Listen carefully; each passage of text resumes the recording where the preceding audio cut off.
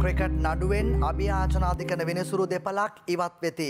විශිෂ්ටත්වය තහවුරු කළ එකම කිරිසන්නාමේ ලෙස පියෝඩේල් රනින් පිතුම් ලැබූ වගයි. මේ කුමුදු උපුල්ශාන්තගේ සටහන මෞබිම පුවත්පත වාර්තා කර තිබෙනවා.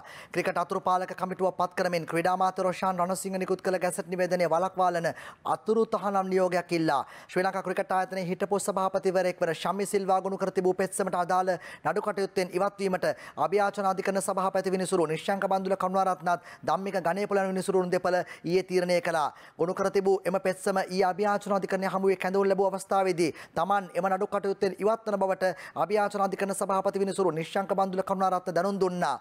ක්‍රිකට් ආයතනය සහ නව අතුරුපාලක මඩුල්ල පත් කිරීමට එරෙහිව ගොනු කර තිබූ පෙත්සම සලකා බැලීමෙන් අනතුරු ඉදිරිපත් වූ කරුණු සලකා බලා නියෝගයක් නිකුත් කළ බවත් එම නියෝගය සම්බන්ධයෙන් ක්‍රීඩා මාත්‍ය රොෂාන් රණසිංහ මෙන්ම අමාත්‍ය මණ්ඩලයේ ඇතැම් සමාජිකයන් හා පාර්ලිමේන්තු මන්ත්‍රීවරුන් කීප දෙනෙකු Taman ඇතුළු එම නියෝගය ලබා දුන් විනිසුරු මඩුල්ල දැඩි ලෙස දෝෂ දර්ශනයට ලක් කරමින් අසාධාරණයක් සිදු කළ බැවින් Taman මේ නඩුවෙන් ඉවත් වන බව දැනුම් දුන් අභියාචනාධිකරණ සභාපති විනිසුරුවරයා එම නඩුව සලකා බැලීම සහ සෝබිත රාජකරුණා හා ධම්මික ගණේපොළ යන විනිසුරුන් වෙත යොමු කළා. සෝබිත රාජකරුණා හා ධම්මික ගණේපොළ යන විනිසුරුවරුන් වෙත එම් පෙත්සම යොමු කරුණත් පෞද්ගලික හේතුවක් මත Taman එම නඩ කටයුත්තේ ඉවත් වන බවට විනිසුරු ධම්මික ගණේපොළ දැනුම් දීම හේතුවෙන් නැවතත් එම පෙත්සම සභාපති විනිසුරුවරයා වෙත යොමු කරන්නට සිදු වූ බව තමයි අද මවබින් පුවත්පතේ වාර්තාවක දක්වන්නේ දිවයිනේ වාර්තාව පාර්ලිමේන්තුවේදී අසාධාරණ ලෙස විවේචනය කළයි අභ්‍යාචනාධිකරණ සභාපති හවිනිසුරු ක්‍රීඩා ඇමතිගේ නඩුවලින් ඉවත් වෙති.